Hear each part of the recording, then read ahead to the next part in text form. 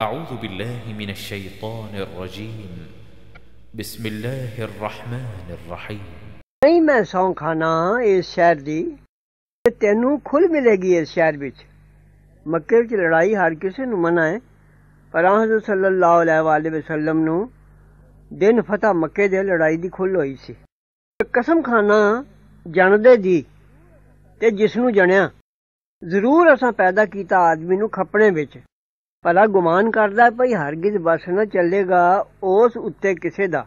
ਆਖਦਾ ਹੈ, ਮੈਂ ਫਨਾ ਕਰ ਦਿੱਤੇ ਮਾਲਾਂ ਦੇ ਢੇਰਾਂ ਦੇ ਢੇਰ। ਭਲਾ ਗੁਮਾਨ ਕਰਦਾ ਜੋ ਨਹੀਂ ਵੇਖਿਆ ਉਹਨੂੰ ਕਿਸੇ ਨੇ। ਨਹੀਂ ਬਣਾ ਦਿੱਤੀਆਂ ਅਸਾਂ, ਉਹਨੂੰ ਦੋ ਅੱਖੀਆਂ। ਇੱਕ ਜੀਭ ਤੇ ਦੋ ਹੋਂਠ। ਰਾਹ ਦੱਸਿਆ ਅਸਾਂ ਉਹਨੂੰ ਦੋ ਘਾਟੀਆਂ ਦਾ, ਯਾਨੀ ਇਮਾਨ ਤੇ ਬੇਈਮਾਨੀ। ਉਹ ਪਾਰ ਨਾ ਲੰਘ ਸਕਿਆ ਮੁਸ਼ਕਲ ਘਾਟੀ ਤੋਂ। ਕਿੰਨ ਦੱਸਿਆ ਤੈਨੂੰ ਕੀ ਹੈ ਉਹ ਦੁਸ਼ਵਾਰ ਘਾਟੀ? ਛੁਡਾਣਾ ਹੈ ਗੁਲਾਮ ਦਾ। ਜਾਂ ਖਵਾਲਣਾ ਕਿਸੇ ਮਸਕੀਨ ਨੂੰ ਭੁੱਖ ਦੇ ਦਿਨ ਵਿੱਚ। ਜਾਂ ਸਾਕੇਦਾਰ ਯਤੀਮ ਨੂੰ। ਜਾਂ ਖਾਕ ਵਿੱਚ ਰੁਲਦੇ ਭੁੱਖੇ ਨੂੰ। ਰੋਇਆ ਉਹਨਾਂ ਵਿੱਚੋਂ ਜਿਨ੍ਹਾਂ ਮੰਨਿਆ ਹੈ ਤੇ ਆਪੇ ਵੀ ਤਾਕੀਦ ਕੀਤੀ ਹੈ ਸਬਰ ਦੀ ਤੇ ਤਾਕੀਦ ਕੀਤੀ ਹੈ ਤਰਸ ਕਰਨੇ ਦੀ, ਉਹ ਨੇ ਭਾਗਾਂ ਵਾਲੇ। ਜਿਨ੍ਹਾਂ ਨਾ ਮੰਨਿਆ ਗੱਲਾਂ ਸਾਡੀਆਂ, ਉਹ ਹੀ ਬੇਨਸੀਬ ਨੇ। ਉਹਨਾਂ ਉੱਤੇ ਮੂੰਹ ਬੰਦ ਕੀਤੀ ਅੱਗ